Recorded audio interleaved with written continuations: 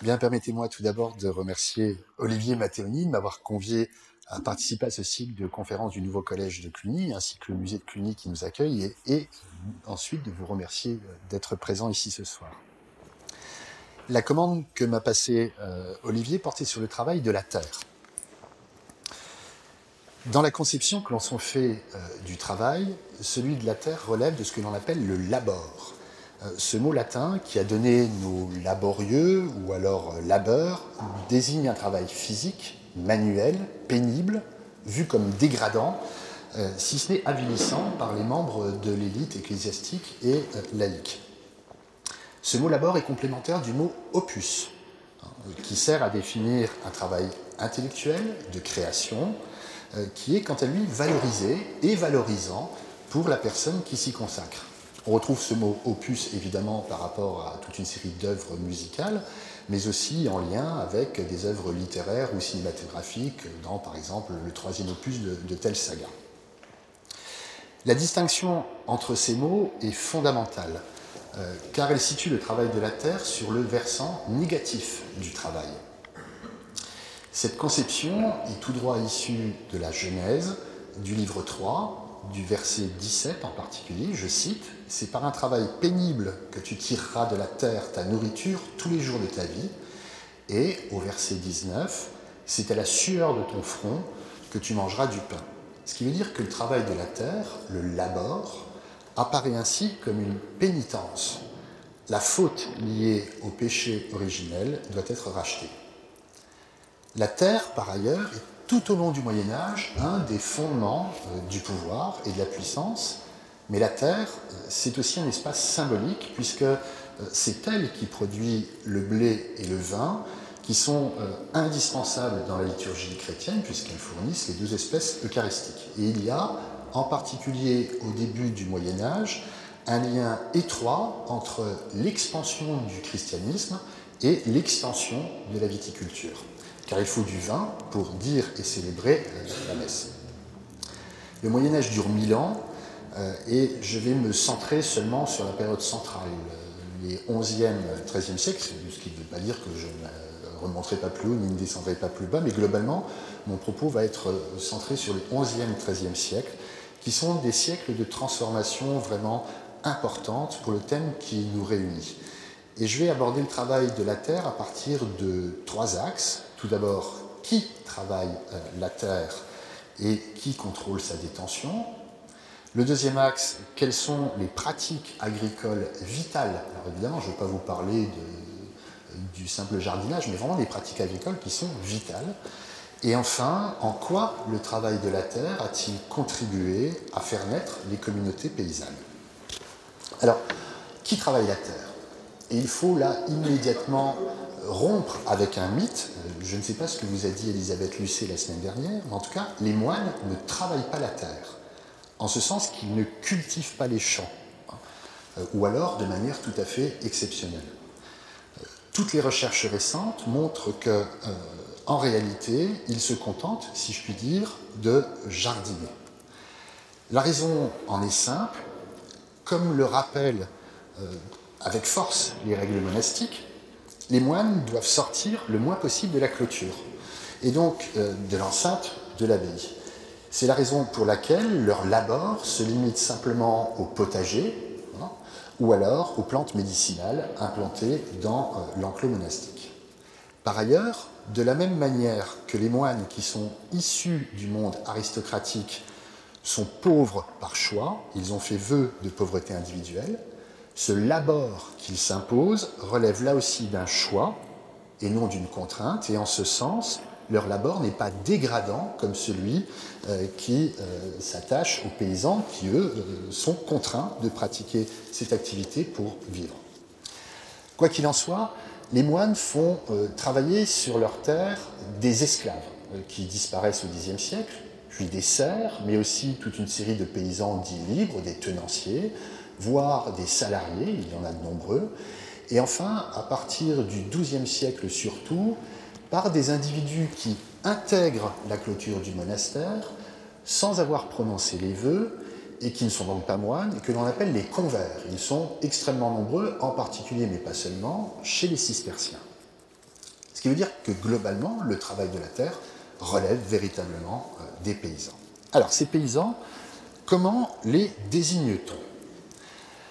Leur désignation ne nous est connue que par des écrits de l'élite aristocratique. Il y a d'abord des termes anciens comme rusticus, que vous voyez ici, les rustici donc, euh, qui désignent les ruraux d'une manière générale et qui tend, au cours du XIe siècle, à prendre un sens péjoratif, celui de rustre, de grossier, d'arriéré.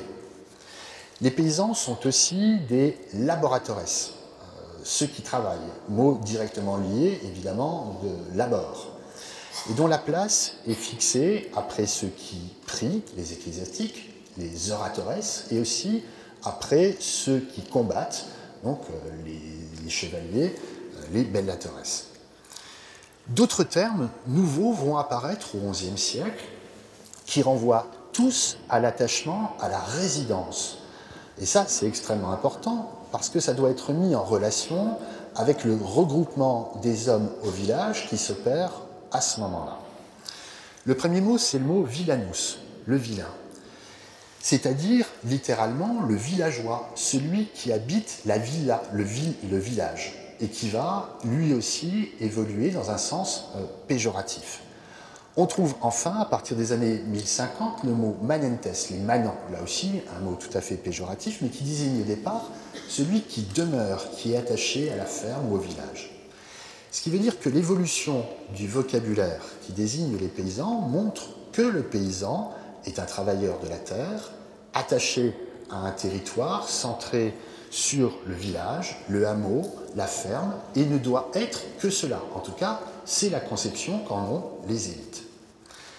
Dans la littérature à destination des aristocrates, dans les fabliaux, les romans, les chansons de gestes, etc., on oppose systématiquement le vilain, présenté comme euh, hideux, difforme, brutal, à l'âme noire, voire diabolique, et au comportement animal, vous voyez que des qualités magnifiques, on l'oppose donc au chevalier qui, lui, est en revanche extrêmement valorisé.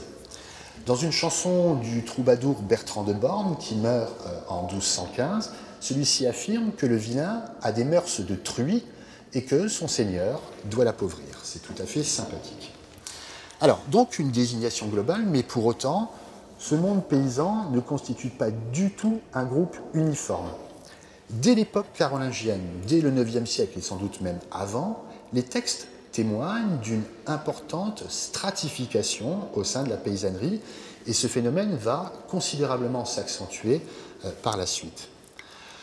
Au sommet euh, euh, de, cette stratification, il y a ce que l'on appelle les laboureurs. Alors là, le point d'interrogation, c'est un laboureur au sens médiéval ou est-ce que c'est simplement un, cerf qui pousse un train de labour Peu importe. Alors ceux que l'on appelle les laboureurs, ce sont ceux qui détiennent justement un train de labour, des animaux de trait, et souvent donc l'arrière ou la charrue, ce qui témoigne de leur aisance, ce qui témoigne aussi de leur capacité à exploiter euh, plus facilement la terre et donc plus de terre. Et ça, c'est extrêmement important. Au bas de l'échelle, en revanche, ceux que l'on appelle les manouvriers ou les brassiers, c'est-à-dire ceux qui travaillent à la force de leurs mains ou de leurs bras, et qui ont en général des micro-exploitations, voire pas de terre du tout, ce qui les contraint à louer leurs bras, soit à un paysan plus aisé comme le laboureur que l'on vient de voir précédemment, ou alors à travailler comme salarié sur euh, la terre seigneuriale. Et entre ces deux catégories, eh bien, vous vous en doutez bien, la palette est absolument euh, immense. Un exemple, en Artois, pardon, en Artois au XIIIe siècle, un riche fermier a des exploitations qui dépassent plusieurs centaines d'hectares. À Sailly, il exploite 280 hectares et dans le, village d'à côté, à Bonnières, il a 360 hectares. Qu'il ne peut évidemment travailler seul, c'est impossible. C'est ce que l'on appelle un coq de village. La grande exploitation paysanne est véritablement une réalité des campagnes médiévales. Un terroir comprend souvent un ou plusieurs euh, gros domaines. Toutefois, ces gros exploitants, ces laboureurs, euh, qui contrôlent une part notable des terres, sont largement minoritaires face à la masse des petits et moyens exploitants. Le seuil d'autosuffisance a été fixé par les médiévistes entre 3 et 6 hectares, évidemment selon la qualité des sols, mais aussi selon les régions. Et toutes les études montrent, comme ici euh, par exemple à Quesnoy, qu'à partir des années 1250, 80% des exploitations paysannes sont sous ce seuil, ce qui permet de saisir l'extrême précarité euh, de la plupart de ces paysans, totalement dépendants d'un seigneur ou d'un euh, laboureur pour survivre. Ce point me permet d'aborder très rapidement, car on s'éloignerait trop du sujet, la question de la dépendance au Moyen Âge. Alors que le binôme libre-esclave, liber-servus, comme on disait, euh, qui jouait un rôle fondamental hein, dans la société carolingienne, ce, binôme euh, libre-esclave a disparu. Et la distinction entre liberté et servitude est en quelque sorte un faux problème à partir du XIe siècle. Pourquoi? Parce que chaque paysan est pris dans un réseau de liens de dépendance qui aliènent plus ou moins fortement sa liberté. Un exemple parmi de nombreux. En 1027, le sire de Déols donne au moine d'Issoudun un de ses domaines, peu importe, et il ajoute, je cite, Je vous donne tous les hommes libres, donne des hommes libres, on peut déjà être surpris, pour que désormais vous puissiez les posséder en toute quiétude et liberté paysans libres comme serfs sont installés sur des tenures, les terres concédées par les seigneurs, qui sont transmissibles à leurs enfants, exploités en famille, en contrepartie du versement aux seigneurs de redevances et de services, certes d'ampleur variable, c'est évident. Tous ont accès aux espaces incultes, tous dépendent de la protection du seigneur, tous présentent de grandes disparités de conditions matérielles. Seuls trois éléments distinguent les paysans libres des serfs un accès plus aisé aux instances judiciaires, une plus grande mobilité potentielle et un niveau de prélèvement moindre. Mais en tout cas, on ne peut pas opposer de manière simpliste libre et non libre à partir du XIe siècle.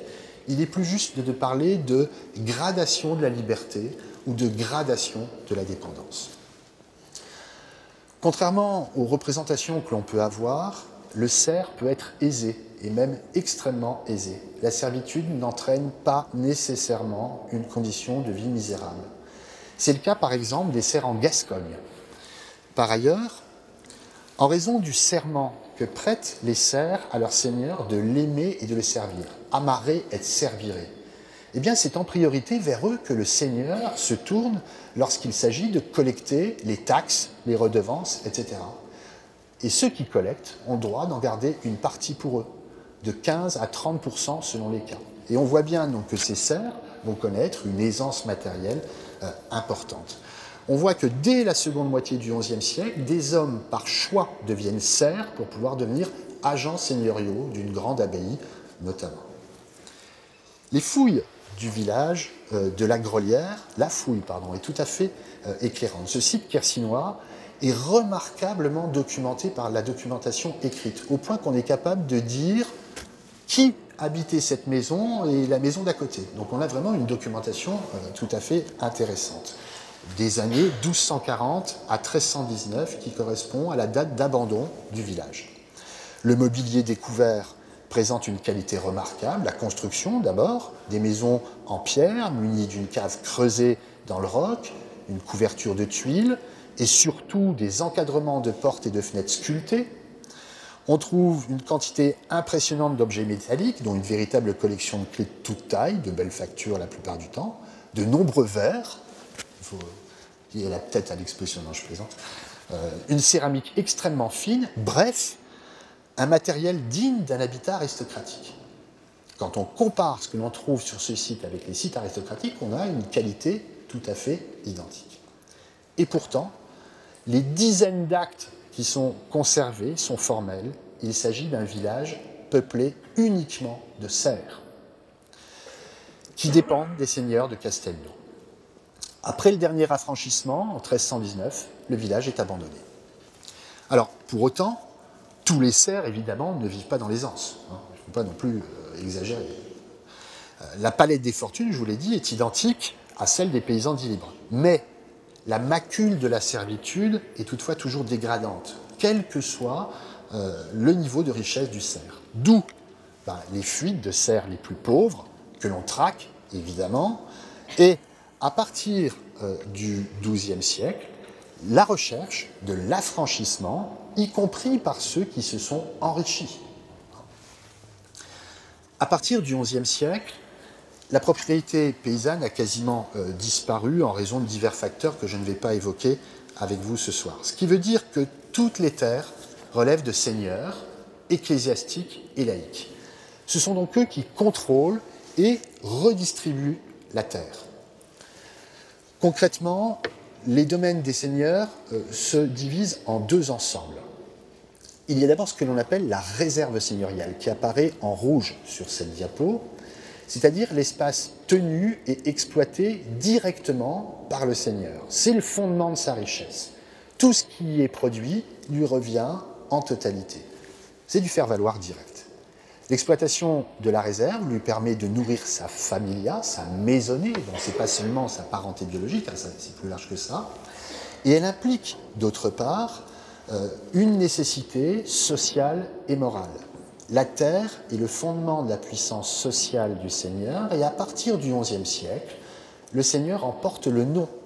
C'est le moment où apparaissent les particules. Hein, la particule aristocratique naît là. Et par ailleurs, il doit aussi pouvoir nourrir ses paysans en cas de famine. Le Seigneur fait exploiter sa réserve par ses serfs, mais aussi euh, par les tenanciers dans le cadre de la corvée, lorsqu'elle persiste pour les paysans libres, mais ce n'est pas le cas partout, et enfin par des salariés. La réserve représente évidemment une part variable de ces domaines.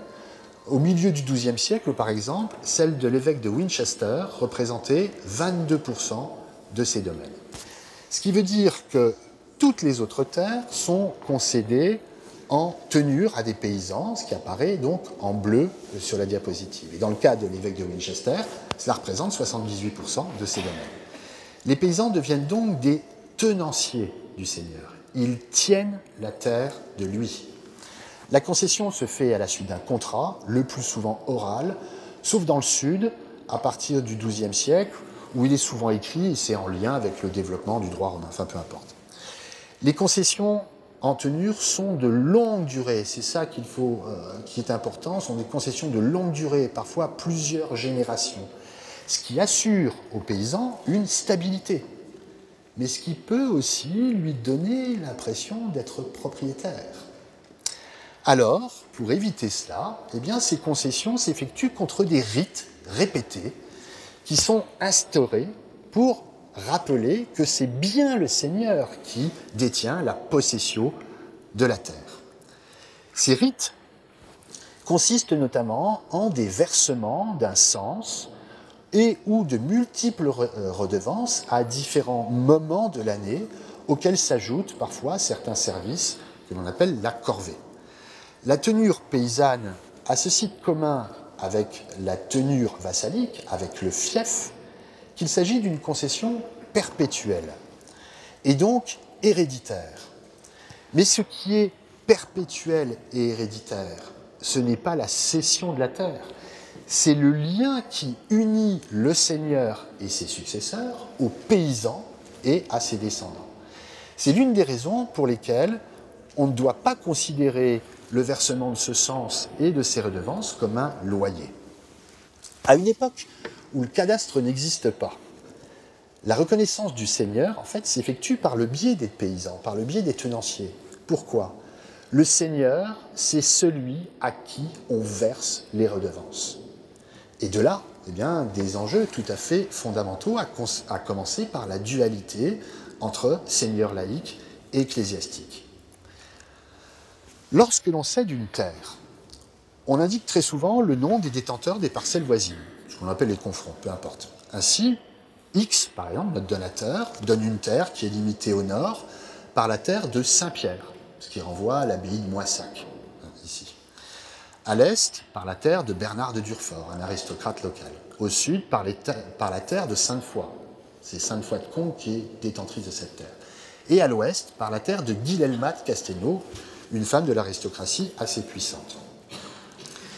Les terres des établissements religieux n'appartiennent pas euh, aux moines, mais à Dieu et aux saints, ou à un saint. Hein. Les moines n'en sont que les dépositaires temporaires. Ces terres ne subissent pas les partages successoraux, euh, ni du coup les problèmes d'identification seigneuriale. Hein. Les paysans savent une fois pour toutes qu'ils travaillent la terre de Saint-Pierre ou la terre de Sainte-Foy, à qui ils verseront plusieurs fois par an, tout au long de leur vie, le sens et les redevances. Mais chez les laïcs, ah, chez les laïcs, eh bien, les patrimoines se recomposent en permanence en raison des partages successoraux. D'où l'importance du nom qui peut changer à chaque génération. Si le fils de Guilhelmat Castelnau dont je viens de parler et de Jourdan Caraman se nomme Guilhem Guillaume de Castelnau, ce n'est pas du tout par manque d'imagination. Hein. C'est bien parce qu'on entend lui accorder l'accès aux revenus que sa mère détenait. Hein. Il pourra, en portant exactement le même prénom et le même nom, eh bien très rapidement, il pourra bénéficier des retombées et du prestige liés au nom, et donc être connu, mais surtout, surtout, s'assurer la possibilité de percevoir les rentes qui tombaient jadis dans l'escarcelle de sa mère, et donc être reconnu par les dépendants grâce à la transmission de la totalité du nom de sa mère. Du XIe au XIIIe siècle, on observe par ailleurs une tendance longue, la réduction de la réserve euh, seigneuriale. Vous voyez, la partie rouge a disparu. Elle s'opère de deux manières, soit par ascensement, c'est-à-dire qu'on va découper une partie de la réserve pour en faire des tenures. Hein. Et l'on voit par ailleurs ici que certaines tenures sont beaucoup plus petites au XIIIe siècle qu'elles ne l'étaient euh, auparavant. Euh, pourquoi? Eh bien, euh, il s'agissait de répondre à la demande des paysans qui n'avaient pas de terre, mais le seigneur n'en réduit pas nécessairement ses prélèvements. Hein.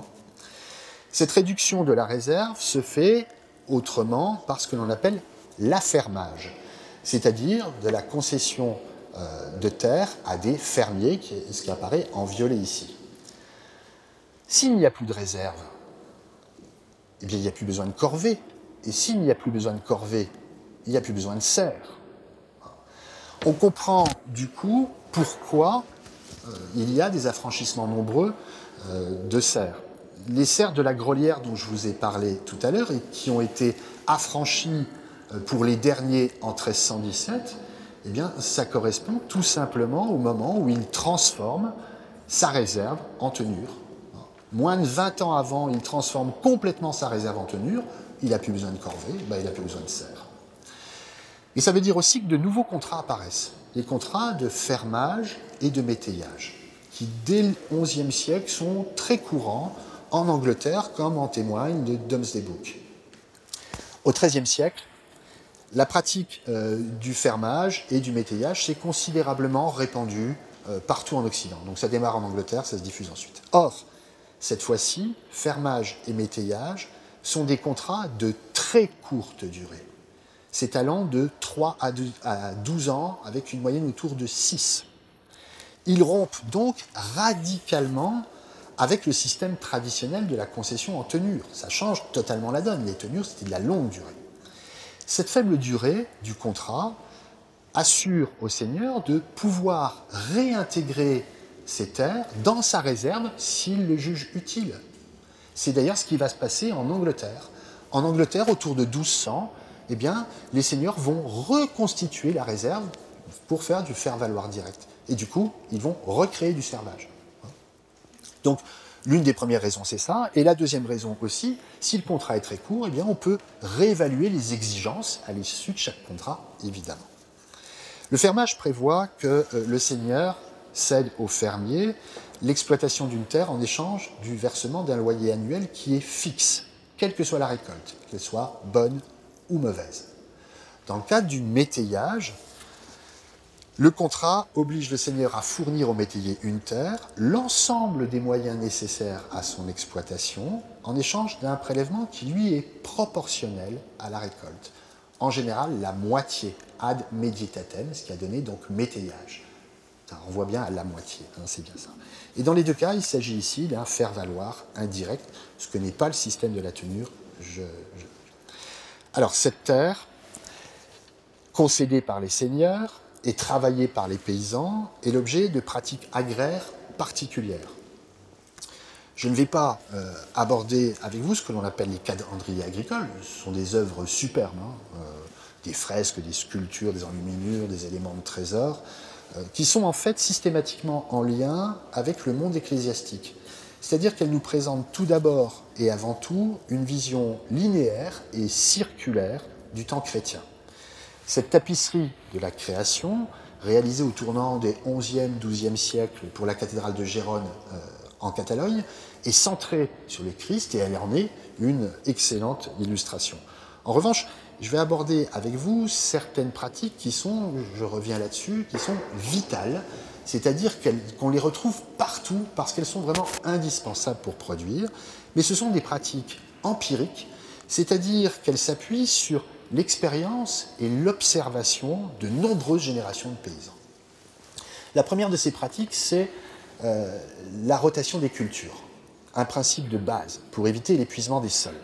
Cette rotation est l'alternance sur une même parcelle de deux ou trois cultures céréalières et d'un temps de repos. Si le temps de repos ne dépasse pas un an, on va parler de jachère, autrement on parlera de friche. Deux modèles de rotation coexistent dans les campagnes de l'Occident euh, médiéval. Le premier modèle, c'est le modèle biennal qui se caractérise par l'alternance d'une culture de ce que l'on appelle des blés d'hiver, c'est-à-dire du froment, de l'orge, du seigle, et d'un temps de repos de 14 à 16 mois. En deux ans, donc, la parcelle ne produit qu'une seule récolte. L'autre modèle, celui de la rotation triennale, fait alterner une culture de blé d'hiver, donc de l'orge, du froment, etc., une de blé de printemps, c'est-à-dire cette fois-ci de l'avoine, du millet, et enfin, un temps de repos de 14 à 16 mois. En trois ans, la parcelle offre donc deux récoltes.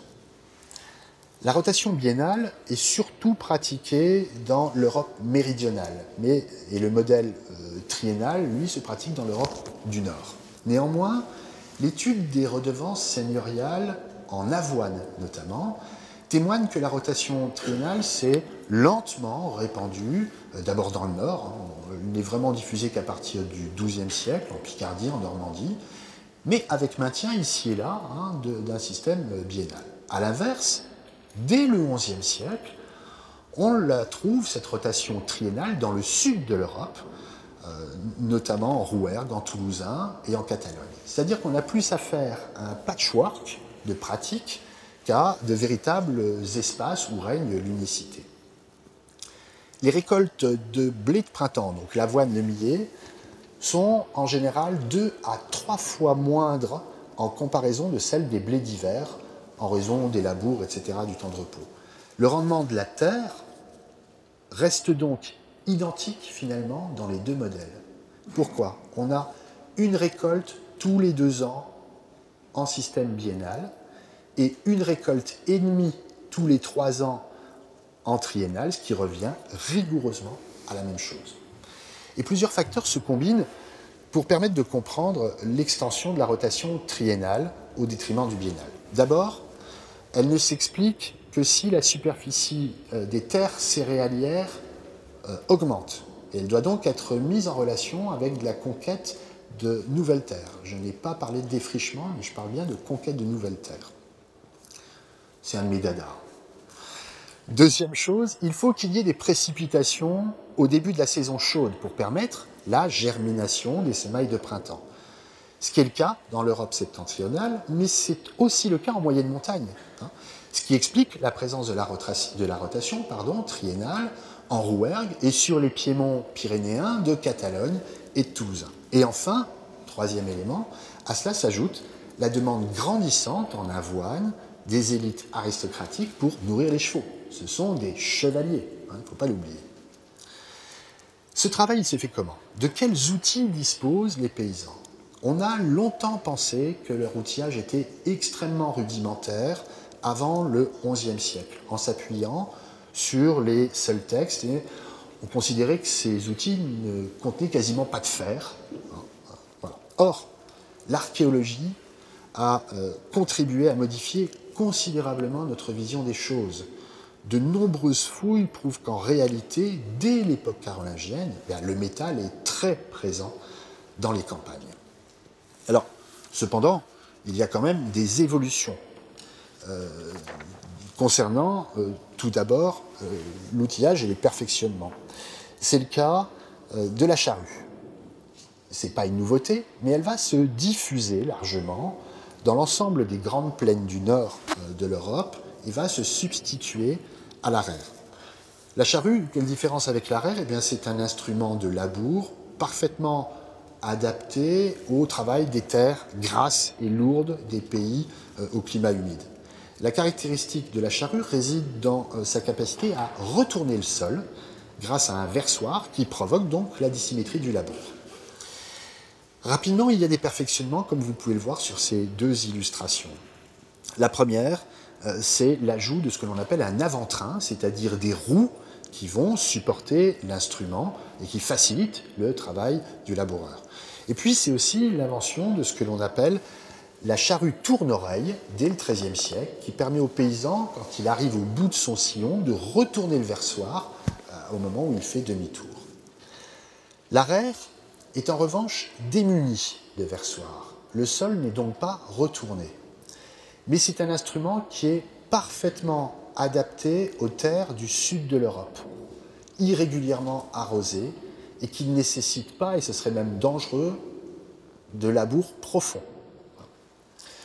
Pour autant, au-delà euh, du fait que l'acquisition de tels instruments aratoires constitue évidemment un investissement que chaque paysan euh, ne peut absolument pas réaliser, on l'a vu tout à l'heure, euh, au moins quatre éléments entravent l'usage de la charrue et de l'arrière. D'abord, le premier élément, c'est que de très nombreuses parcelles sont extrêmement exiguës, de toute petite taille. donc, ça ne devient pas du tout intéressant de la travailler à la charrue. Deuxième élément, c'est que les espaces où le relief peut être marqué, et pas uniquement en zone de montagne, euh, eh bien, euh, lorsqu'il y a une trop forte pente, cela euh, pose des problèmes pour le travail à la charge. Troisième problème, troisième problème, lié cette fois-ci à la présence de la vigne. La vigne n'est pas cultivée en rang. La vigne médiévale ne ressemble en rien à la vigne actuelle, d'autant qu'elle est très souvent complantée, c'est-à-dire que entre non pas des rangs de vignes, mais euh, des cèpes de vignes qui sont disposés un peu n'importe comment, on va cultiver euh, normalement. Et donc là, passer la charrue là-dedans, c'est euh, totalement, évidemment, impossible. Et enfin, dernier type de parcelles qui ne supportent pas le passage de la charrue, eh bien, ce sont les parcelles très caillouteuses, dépierrées continuellement et patiemment, comme dans les zones de Causse, par exemple. Du coup, sur toutes ces parcelles, et en particulier euh, dans les jardins, à proximité des habitations, on utilise des outils à bras, c'est-à-dire la bêche ferrée ou alors la houe. Or, le bêchage permet d'obtenir des rendements très supérieurs à ceux des terres labourées avec une charrue. C'est ce que montrent d'ailleurs encore aujourd'hui tous les travaux sur la permaculture et on voit même certains maraîchers qui abandonnent le motoculteur pour revenir à la bêche la bêche apparaît vraiment comme l'outil par excellence de l'agriculture intensive.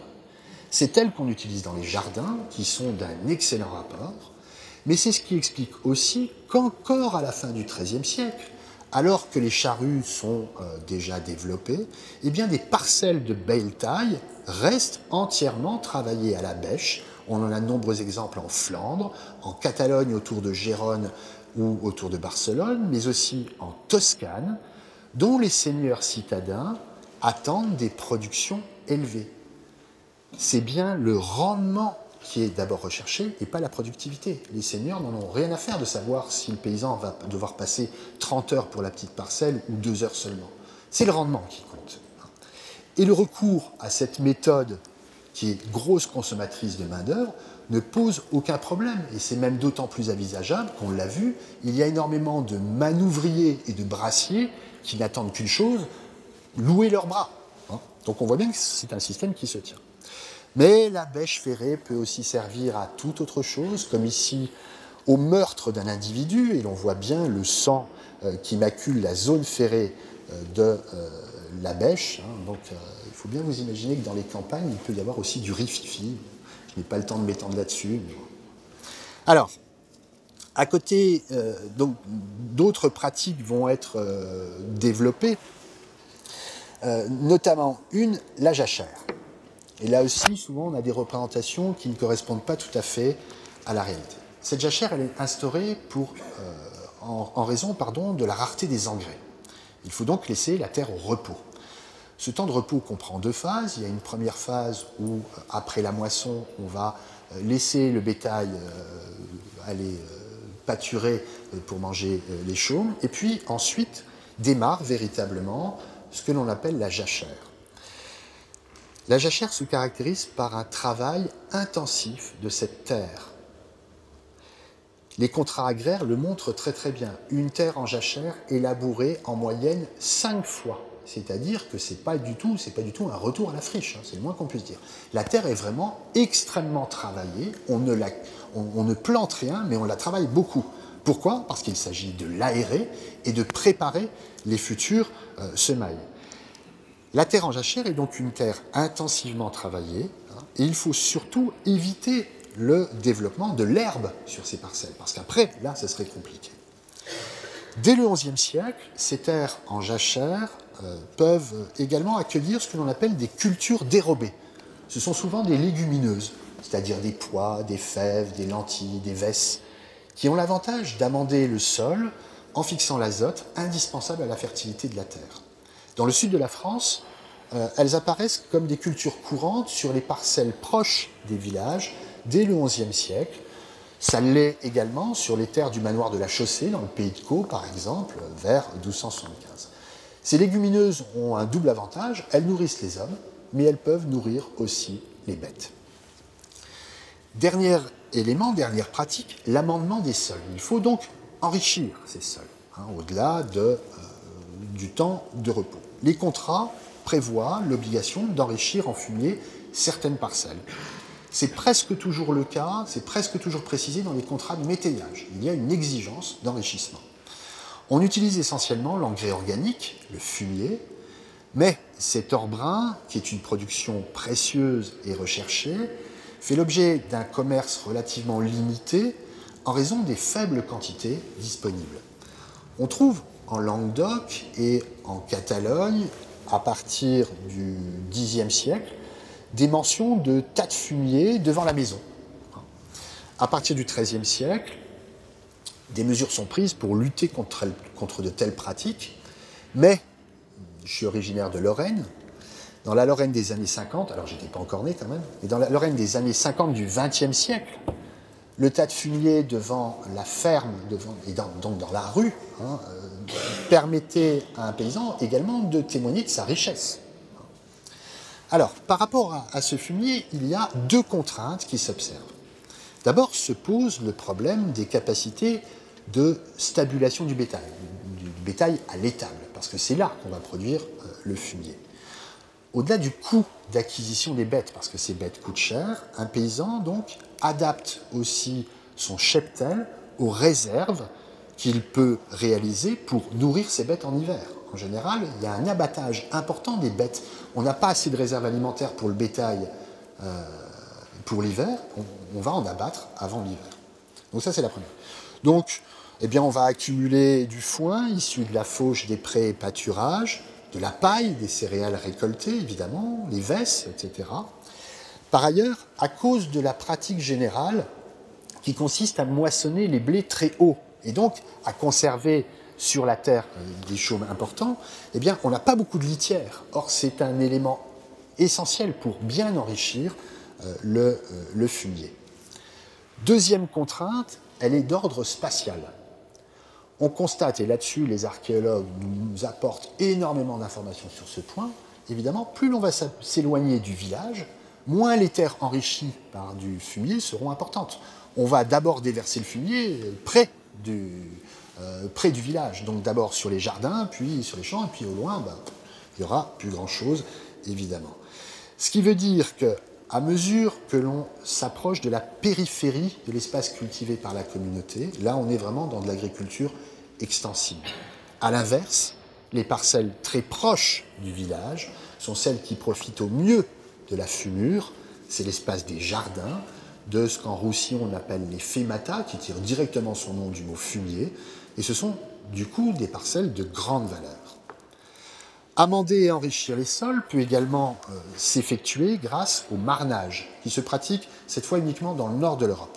La marne, c'est un sédiment calcaire courant hein, dans cet espace que les paysans peuvent se procurer facilement, simplement en creusant euh, des fosses ou des puits peu profonds, que l'on va d'ailleurs appeler des marnières.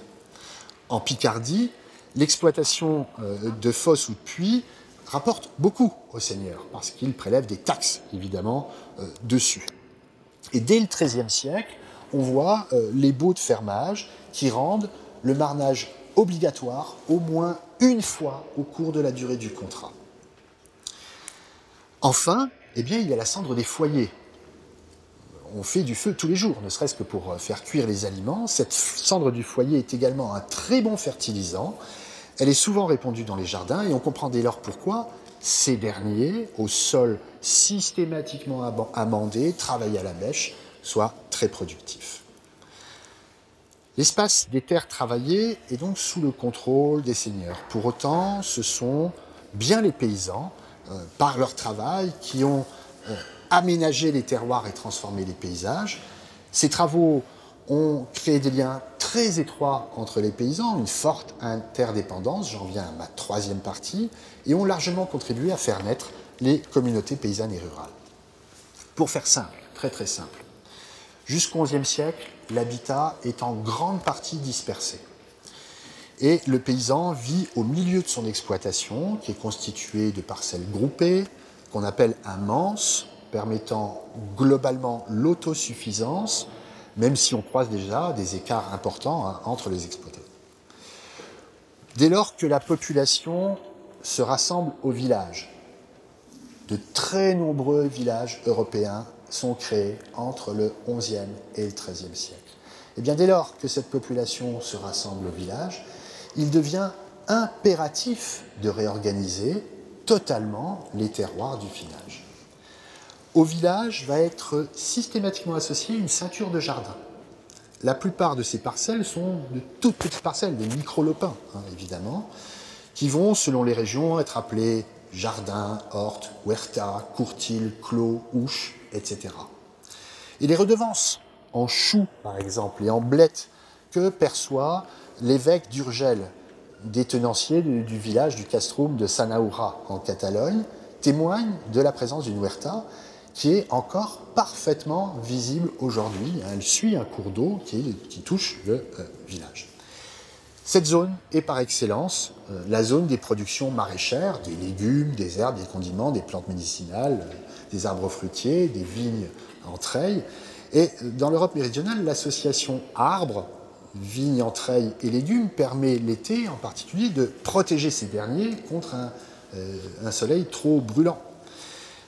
Quoi qu'il en soit, la production des jardins dégage des sources de revenus essentielles pour les paysans. Ces produits sont vendus sur les marchés ruraux qui se développent à partir des années 1050 et qui vont alimenter les marchés urbains.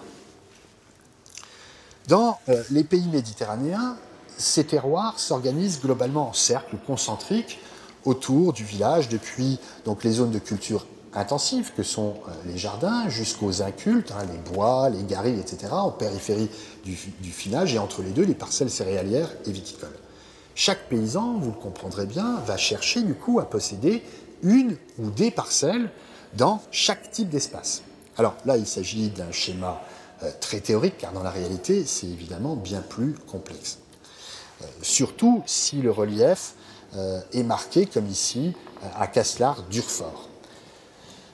Dans les pays méditerranéens, non, pardon, je m'appuie ici sur euh, l'étude euh, très fine du finage d'un petit village qui a été menée par Marie-Pierre Ruas à partir de données archéologiques et textuelles. Ce village se situe donc dans la montagne Noire, au sud du Massif central. Il est implanté sur le versant euh, sud du relief Et le village confronte quand même au début de la plaine de, Revel.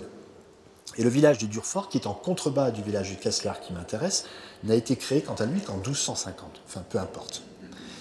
Dans cet espace très accidenté, hein, vous voyez les lignes, les courbes de niveau, dans cet espace très accidenté, évidemment, le beau schéma théorique fonctionne moins bien. Euh, parce que ici, les incultes occupent une place importante.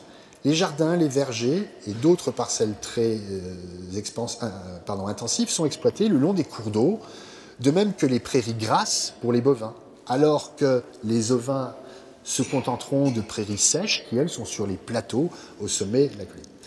Les vignes sont complantées, là aussi, et le froment, le blé tendre, est cultivé dans la plaine, tandis que le seigle, qui peut se contenter de sols nettement moins euh, intéressants, est produit sur les plateaux. Les parcelles en lanière, cette fois, qui sont longues et étroites, qu'on retrouve partout, presque partout, dans le nord de l'Europe continentale, en Normandie, ce système est très fréquent dès le XIIe siècle, mais aussi à l'est dans l'Empire germanique. Alors, ce système parcellaire n'est pas euh, présent dans, toute cette zone dite de pays d'open field, c'est-à-dire à champ ouvert. Il n'en constitue pas moins, hein, véritablement, une grande caractéristique. La longueur des, des lanières, en fait, elle permet quoi? Elle permet d'éviter de devoir réaliser trop fréquemment des demi-tours avec la charrue. C'est pour ça qu'on fait des lanières, des, parcelles extrêmement euh, longues. Ce qui veut dire qu'ici, la parcelle a été ajustée à l'outil. C'est bien l'outil qui va donner la forme de la parcelle. Et, et cela implique aussi une forme de village particulière, un village rue. Dans les régions de polder, et de tourbières, cette organisation est par ailleurs euh, parfaitement adaptée à l'installation de canaux de drainage. Et dans une bonne partie de l'Est européen, ces lanières sont étroitement associées euh, à l'habitat. Par le terme de village en ligne, ou de terroir en UF, peu importe, on entend donc l'ensemble de plusieurs parcelles en lanière avec habitation, accolées par leur long côté. Et en montagne, ce système permet également d'avoir un partage relativement équitable tout le monde va monter sur la pente et tout le monde aura des niveaux d'étagement différents et donc on a quelque chose d'à peu près euh, égal. Quant au bocage, eh bien le bocage, c'est joli, mais ça n'est pas médiéval. Le phénomène apparaît pour l'essentiel, alors sauf en Angleterre, j'exagère, en Angleterre, à l'extrême fin du XIVe siècle, on rencontre du bocage, mais en France, il faut vraisemblablement attendre au mieux l'extrême, fin du XVe siècle, mais c'est surtout au XVIe siècle que ce type de paysage va se développer. Il y a donc une dispersion des parcelles qui va aussi trouver son explication dans le contexte de l'assolement des terroirs, étroitement lié à la pratique euh, de la rotation triennale hein, qu'on trouve dans le Nord. Pourquoi? Les espaces sont ici aménagés en ce que l'on appelle des grandes sols, homogènes, compactes, au sein desquels donc l'ensemble des terres suivent la même culture. Sur la sol 1, eh bien, tout le monde plantera, cultivera pardon, des blés euh, de, printemps. Sur la sol 2, des céréales d'hiver. Sur la sol 3, tout le monde pratiquera la jachère. Chaque sol est en effet divisé en quartiers et lui-même en de très très nombreuses parcelles ce n'est globalement quand même qu'à partir du XIIIe siècle que commence à véritablement s'opérer ce regroupement en sol. Pourquoi est-ce qu'on fait ça? Parce que c'est compliqué quand même. C'est parce qu'il s'agit à la fois d'intensifier la céréaliculture, donc produire plus de céréales, mais aussi de dégager plus d'espace pour le développement de l'élevage, hein, en lien avec une consommation urbaine croissante. Cette organisation générale du terroir ce serait d'abord fait par entente entre les laboureurs, ceux qui possèdent de nombreuses parcelles et ceux qui possèdent un bétail important. Ils ont tout intérêt à faire ça. Donc, on a d'abord les laboureurs qui mettent en place ce système. Et dans un second temps seulement, euh, l'ensemble des exploitants auraient rejoint le système et accepté de se conformer à ce que l'on appelle la contrainte de sol. Le mot est fort. Ça implique une contrainte, c'est certain. Et du coup, on comprend bien là aussi que les paysans ont tout intérêt à disperser leurs parcelles. S'ils mettent toutes leurs parcelles dans la même sol, ça veut dire qu'une année sur trois, bah, ils produiront rien. Et ça, c'est évidemment impensable. Impensable. Mais on voit bien aussi que ce découpage repose sur le fait de se soumettre à la loi de la communauté, et cette communauté, en fait, en réalité, elle est dominée par les laboureurs, parce que pour eux, ça pose aucun problème, ils ont de très nombreuses parcelles. Alors l'abandon du manse permet de comprendre aussi la réorganisation du travail. Euh, la communauté qui naît dans ce cadre ne peut pas être réduite à une simple relation de voisinage, hein, c'est pas seulement ça. En effet, le passage, pardon, le passage à la tenure, c'est-à-dire à des parcelles dispersées à partir du XIe siècle, change fondamentalement la donne sur deux points. C'est d'abord l'introduction d'une inégalité vraiment croissante de la taille des exploitations qui crée vraiment des écarts sociaux de plus en plus importants, je l'ai déjà vu. C'est ensuite surtout la transformation de ce que l'on appelle les incultes, Jusque-là, chaque paysan gérait ses propres incultes sur son manse. À partir de là, ça n'est plus possible. Les incultes, donc les terres non cultivées, les bois, les garrigues, les landes, etc., vont être gérés collectivement. J'en reviens aux écarts sociaux qui vont créer l'interdépendance. Les laboureurs trouvent en effet auprès des brassiers, des manouvriers, une main-d'œuvre d'appoint lors euh, des périodes de gros travaux, les labours, les récoltes, le battage, sans avoir à les entretenir toute l'année. Donc c'est très intéressant pour eux. Tandis que les petits exploitants, ou ceux euh, qui n'ont pas de terre, eh ben, ils ont besoin du laboureur, soit parce que quand on est un petit exploitant, ben, on va emprunter la charrue, ou euh, une paire de bœufs pour tirer la charrue, ou alors quand on que ses bras, ben, il faut être embauché. Et l'inégalité euh, des exploitations n'aurait pas tenu s'il n'y avait pas eu justement cette entraide, cette, osmose qui, qui s'opère entre les différents niveaux sociaux et les brassiers seraient tous partis. Les laboureurs forment donc une élite sociale au sein de la communauté. C'est bien cette interdépendance dans l'organisation du travail qui conforte du coup et même renforce leur position leur permettant du coup d'exercer aussi une influence, si ce n'est une pression sur le reste de la communauté, dont beaucoup dépendent d'eux hein, pour euh, vivre à l'heure des grands travaux. Excusez-moi.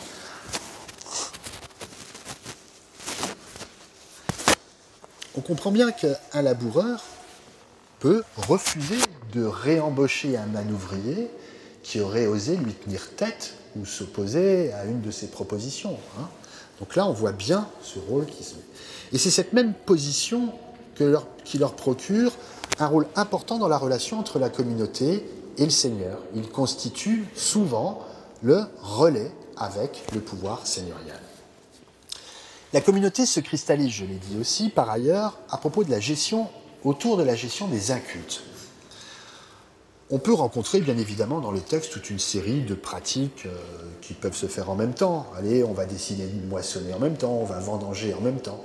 Mais ça n'est pas euh, si général que cela. Il ne faut pas croire à l'inverse que lorsque l'habitat est dispersé, on a des communautés qui sont très individualistes. Là non plus, ça ne marche pas. Ce qu'il y a de certain, c'est que partout en Occident, il est vraiment un point qui concrétise la communauté, eh bien, c'est euh, celle de l'appropriation commune euh, du finage au moment de la veine pâture. À partir du moment où les terres ont été moissonnées, eh bien, les exploitations individuelles disparaissent, puisque les troupeaux de tous sont libérés.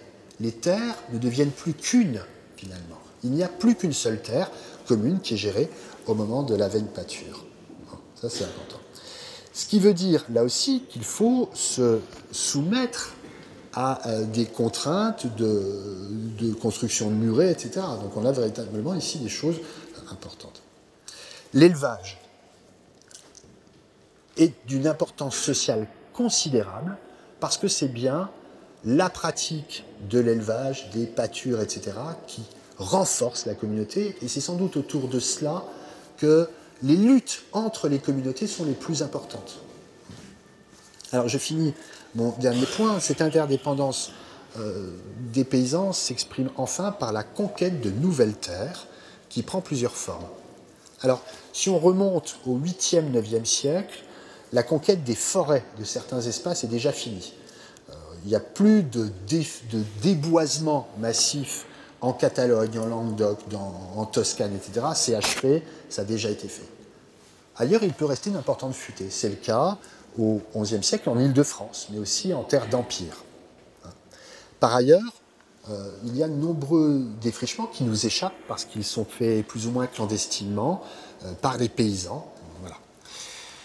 Alors, les défrichements peuvent donner naissance à des opérations de colonisation, souvent sollicitées par un ou plusieurs seigneurs qui vont s'associer. Et elles se font donc à partir d'une clairière ou d'une route, et à partir de là, on va conquérir, construire un village, etc. Les attaques contre les massifs peuvent être importants. Hein. Les bois qui cernent actuellement Paris, euh, le bois de Vincennes, le bois de Boulogne, le bois de Meudon, ne sont plus que des confettis hein, par rapport aux forêts euh, qu'elles étaient au XIe siècle. À côté de ces défrichements, et c'est finalement quelque chose qui a été beaucoup plus répandu euh, au Moyen Âge, il y a ce que l'on appelle la bonification des terres. Jusque vers 1050, les cultures ne s'approchent guère des cours d'eau, y compris des petits cours d'eau. Pourquoi? Parce qu'on craint les inondations, tout simplement. Ces rives étaient des espaces d'aulnay, euh, propices aux pâtures du bétail, et donc on s'en contentait. Mais passé 1050, en raison de la croissance de la population, et en raison également de la demande toujours plus forte euh, du monde aristocratique, parce que ce monde aristocratique euh, se développe aussi, eh bien, on va commencer à s'attaquer à ces espaces. Euh, on va même y créer des, terres tout à fait particulières. On sait par ailleurs que dans tout le bassin méditerranéen occidental, beaucoup de ces parcelles peuvent être irriguées. Alors, que les choses soient claires, il ne s'agit pas d'une irrigation complexe avec des canaux un peu partout comme on peut rencontrer euh, dans le Maghreb par exemple.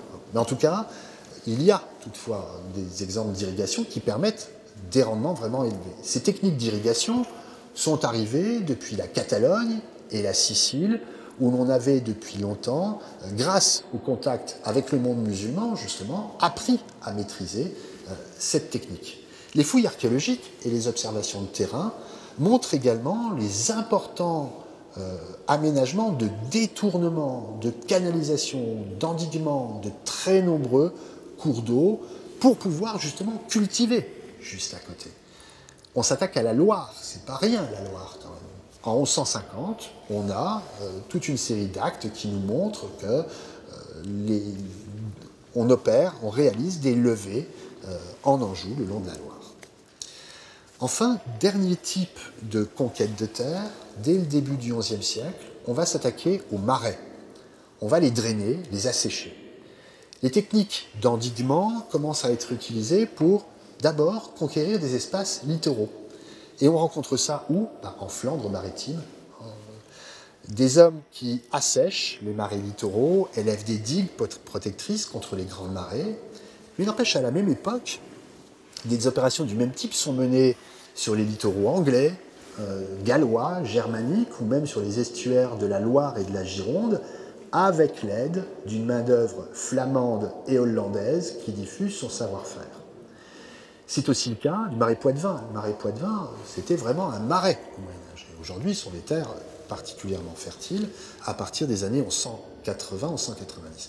Et c'est le cas aussi euh, de tout le sud de la baie du Mont-Saint-Michel, où au tournant des 12e, 13e siècles, on va drainer ces littoraux. Toutes ces opérations ont permis de gagner plus de 450 000 hectares de terre et toutes ces opérations se sont faites évidemment collectivement. On ne peut pas faire ça seul. Les hommes s'attaquent ensuite aux espaces non littoraux. Ainsi, dans la plaine du Pô, euh, la cité de Vérone fait réaliser le drainage d'un marais qui va lui permettre de gagner 12 000 hectares, j'ai bien dit 12 000 hectares, c'est pas rien, de terres cultivables à la fin des années 1190. Et puis, en Languedoc, donc plus proche de nous, à partir de 1150, les hommes assèchent de nombreux étangs par un système là aussi de drainage. Et l'exemple le plus abouti et sans doute le plus célèbre est euh, celui constitué par l'assèchement de l'étang de Montady à proximité de Béziers qui est réalisé au milieu du XIIIe siècle. Donc là, ça implique une technicité importante, hein, puisque ça peut vous paraître surprenant, mais l'étang est vidé par le centre. Il y a des systèmes de canalisation qui partent du centre de l'étang. Alors, face à la forêt, aux marais, aux fleuves, à la mer, les paysans donc, ont fourni des efforts considérables pour conquérir de nouvelles terres, mais aussi pour réorganiser euh, les finages et les paysages ruraux. Ces travaux de grande envergure, euh, comme les précédentes pratiques d'ailleurs, hein, ont largement contribué à faire naître les communautés qui parfois s'opposent aux seigneurs. Par ailleurs, leur production de nourriture, mais aussi de laine, de lin, de produits tinctoriaux, vont également permettre de ravitailler la ville et de favoriser euh, l'essor de l'artisanat urbain dont vous parlera Julie Claustre le 13 euh, décembre. Je vous remercie de votre attention.